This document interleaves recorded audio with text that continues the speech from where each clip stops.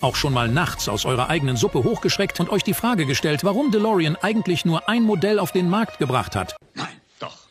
Der Grund ist einfach. Auch wenn der DMC 12 heute Kultstatus besitzt, war er bereits bei seiner Vorstellung 1981 ein Kackfass. Verarbeitungsqualität auf Kickniveau und die Motorleistung eines Fahrrads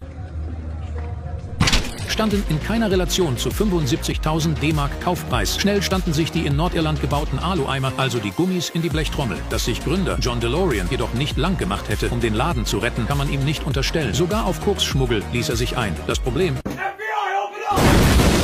Das war eine Falle von den Schneesheriffs. Nach zwei Jahren schubsten die Arbeiter in Dunmurry den letzten Zwölfer vom Band. Dann war ein für alle Mal